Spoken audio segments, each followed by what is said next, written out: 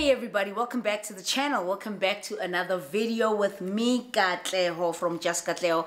I hope you are subscribed and if you're not, please do. Welcome to the channel. Also click that notification bell so that you know each and every single time I upload. You're to get a ping pong on your phone every single time I upload and you will know to watch the videos. So welcome. We're doing another advice with Kat today. If you don't know, I do quite a few of these and I will link some of them down in the description box below. But this time around, I wanted to do the relationship edition. So ask your ask. Let's do it based on the Kandid with Kat relationship edition. Now we're going to be doing the advice with Kat relationship edition. So I didn't really get that many uh, questions, but I will try and get through the ones that I do or did get as fast as I can because I am quite tired.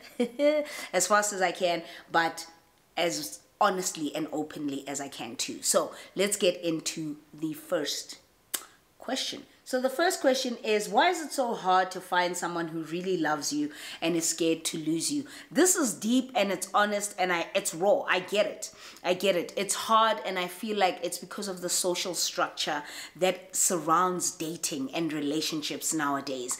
Let's be honest, it is a cesspool. Let's be honest, people are just not honest with one another when it comes to relationships. There's cheating, there's this, there's people wanting you know, unrealistic expectations from a relationship. There's people not being honest with themselves about what they want from relationships and how they plan on achieving it or getting it. Let's be honest, it is a mess in the dating world. It is a mess trying to find somebody who's just going to be honest and straightforward with you and just be loyal and trustworthy and all of that because we live in a society where relationships are scandalized. We live in a society where, you know, things are projected about what relationships should be or what they should look like that makes it really hard to find someone who's going to love you for you and be with you for you.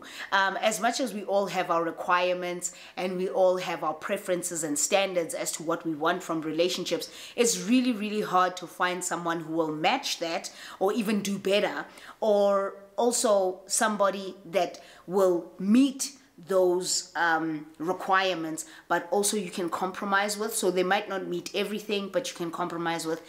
It's really tough, and I do not have the answer for that. I really would love to know why it's so hard, but I think it is largely based on the society that we live in now and how we've commercialized um, certain types of relationships as being the end all and be all as to what relationships should look like, feel like, be like. And um, until we can get to the crux of the root of, you know, this is not what a relationship, a relationship should actually fulfill this part of your life and not necessarily what we're seeing on social media. That's my two cents. Um, another question is Would you go back to a guy who cheated on you and claimed he was only trying to create a tepu? No. No, no, no, no. No, no. Have I gone back to someone who's cheated on me before? Yes, I have. Um, was it a big mistake? Absolutely. It was a big mistake because it said a lot about how I felt about myself. Um, I didn't deem myself worthy enough or didn't feel to be worthy enough to be in a relationship where I'm not cheated on. I felt like I know this person, I've already built a life with this person, let me try. Yes, I got cheated on, but the reality about being cheated on is that it changes you forever. You might love that person, you might want to be with that person so much you might want to love on them and whatever and try and move past the fact that they cheated on you, but it makes you a different person. You're a lot more snappier, you don't trust them. You can you can say all you like about trying to earn that trust back or whatever, but it is damaged forever.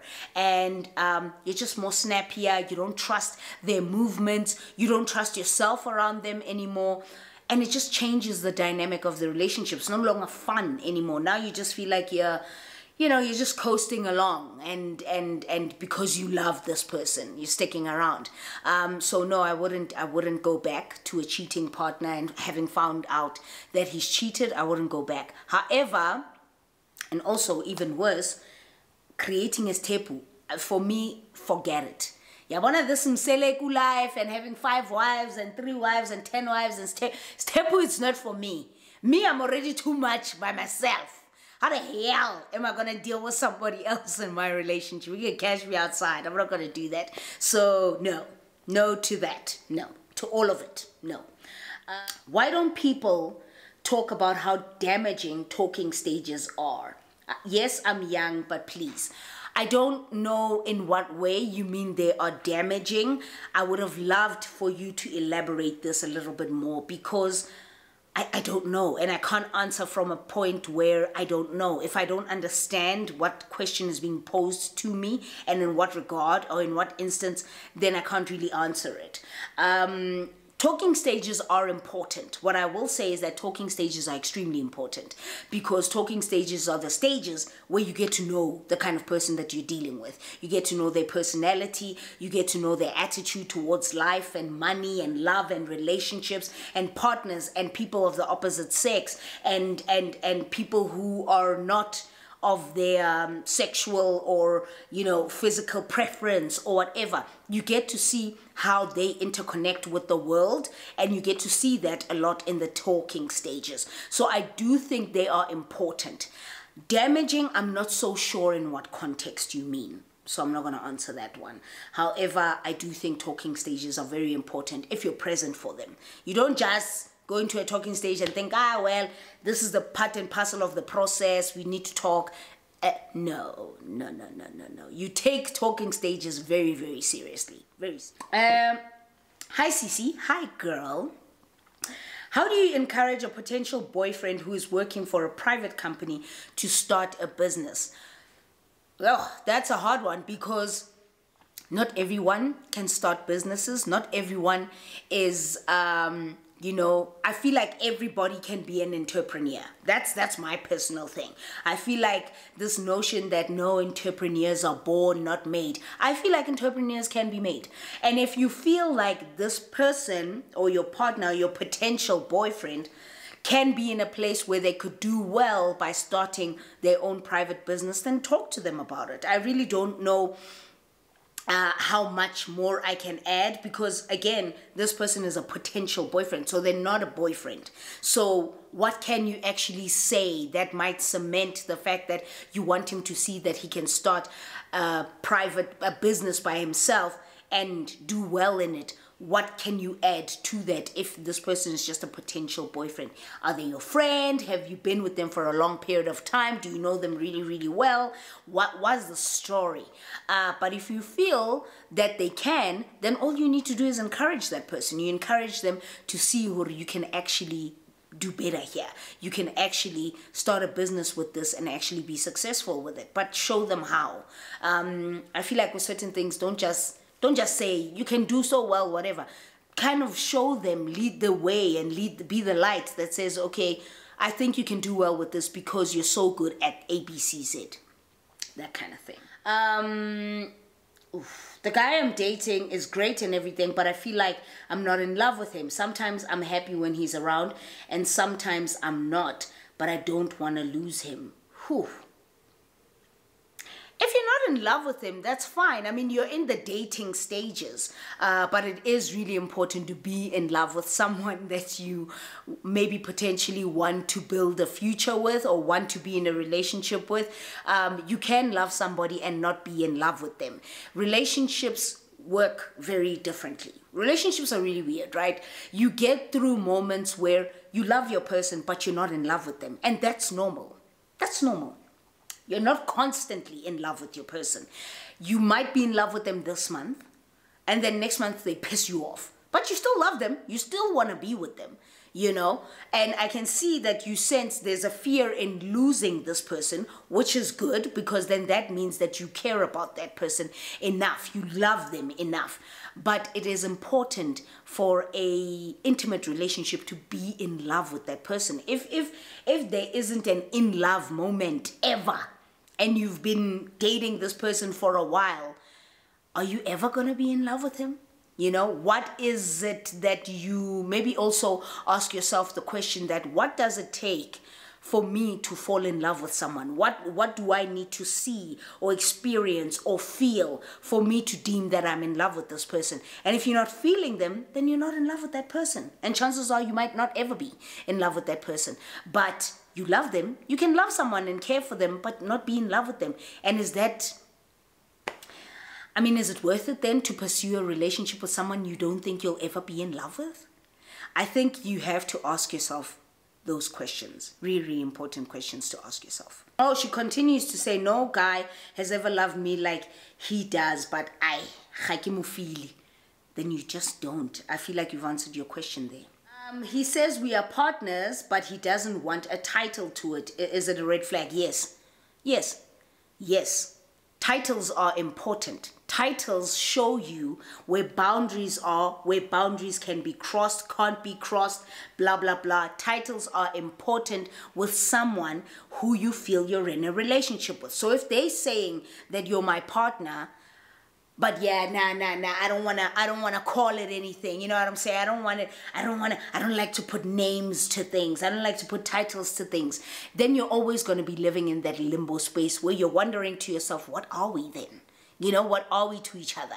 He's saying that I'm his partner, but he refuses to say that I'm his boyfriend, girlfriend, uh, what. And listen, I view partner as somebody who is my boyfriend or girlfriend or whatever. This is somebody that I have an intimate relationship with. So when he says partner, what is his definition of partner? Because I would automatically assume that a partner is someone that you are in an intimate relationship with uh yeah no. He might have to just you might have to have that conversation with him to say like bruh what are we to each other? What which one? What's going on here? Let's let's talk about it. Um but no it uh, for me personally that would be a red flag.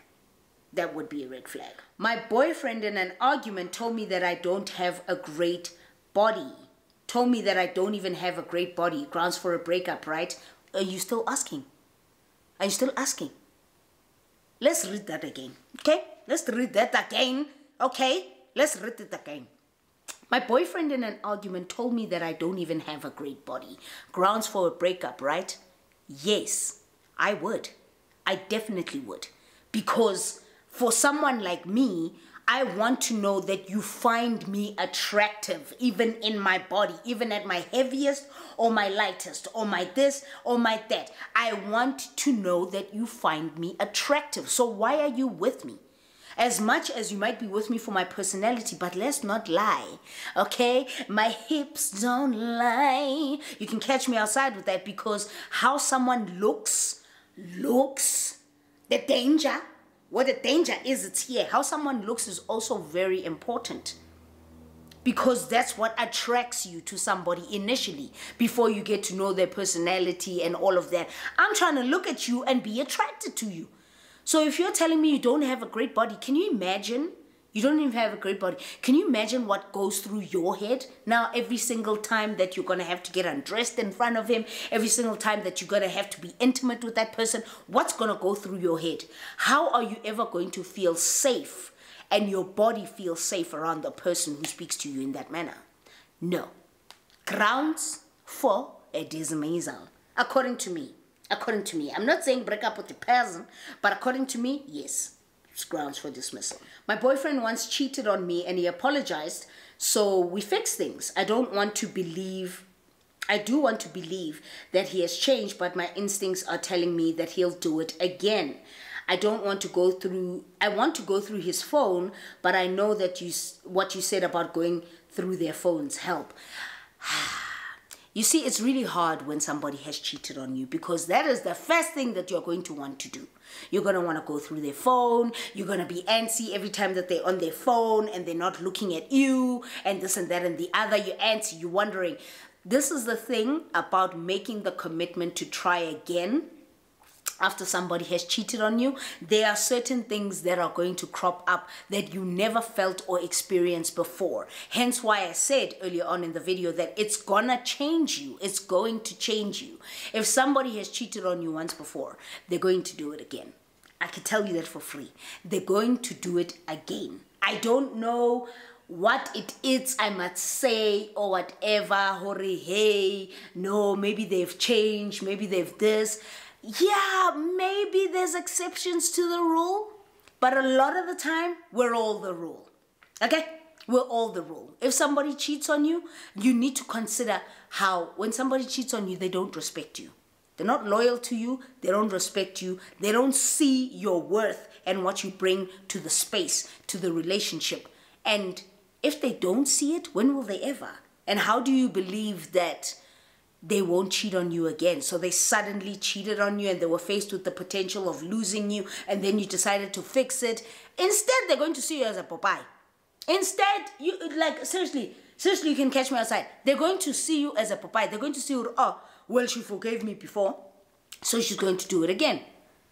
I forgave before, and when I found out it happened again, I left. So I knew her, ah, ah, ah, ah, ah, here, I'm being very much disrespected here. I'm never going to be respected here, ever. I wanted to be, you know, benefit of the doubt. I don't know why. It's messed up, okay?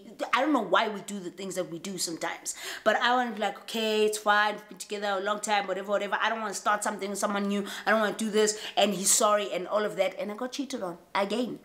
Probably multiple times. I just found out about the one.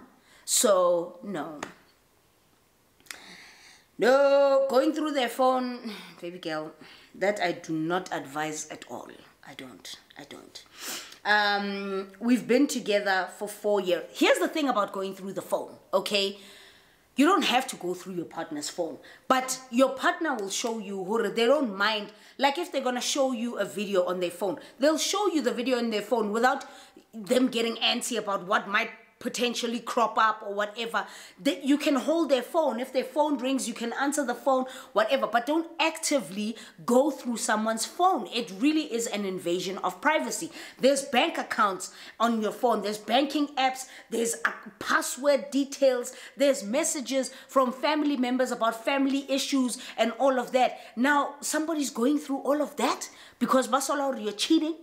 No no. It's just not right. It's just not right no. No. We've been together for four years. He lives, huh?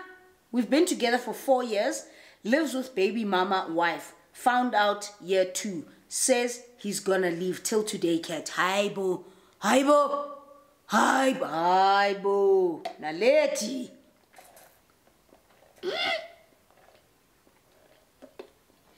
So you knew, or you found out in year two, and you stayed. And now it's four years later.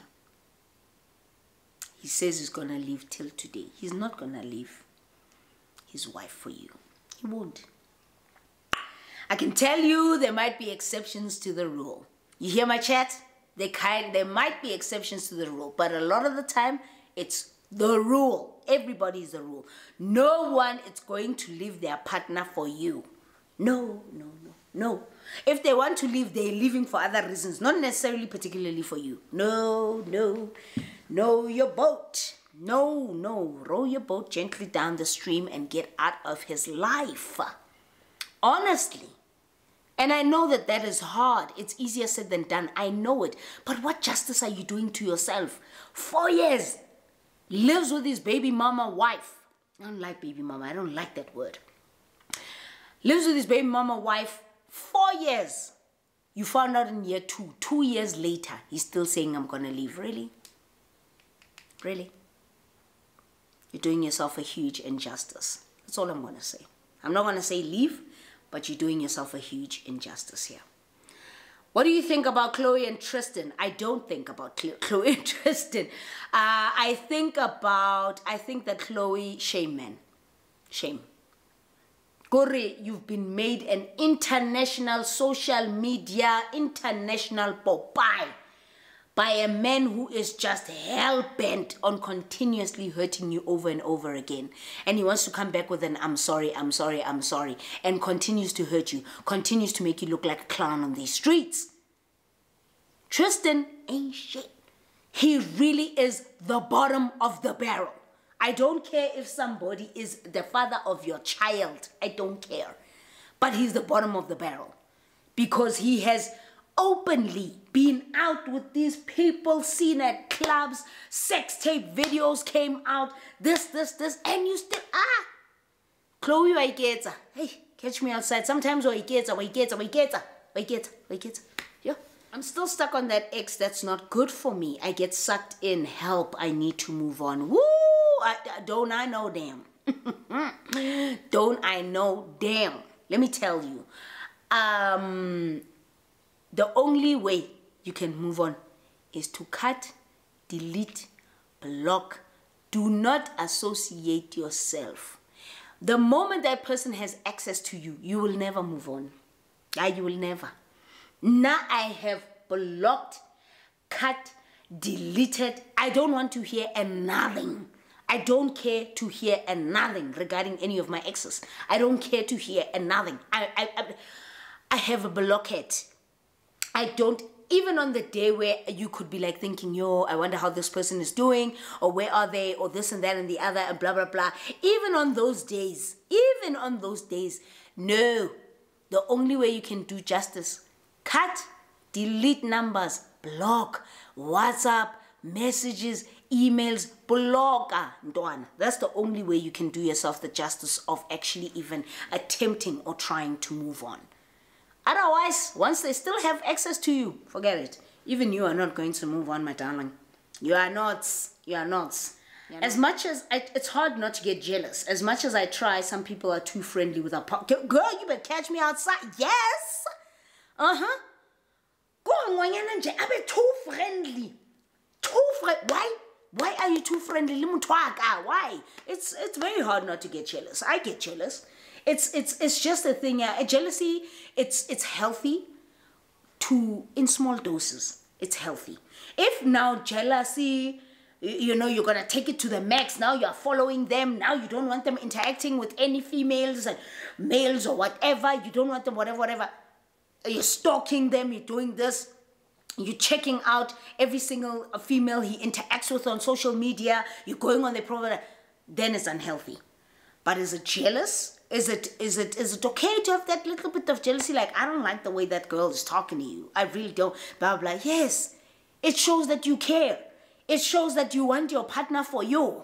You want them to be with you for you. You know, and and and and and and, and, and things like that don't make you happy can you imagine you're with somebody and you're always talking to boys and you're out talking to guys all the time. Guys are interacting with you on your social media and you're interacting back with them. And he's just like unfazed.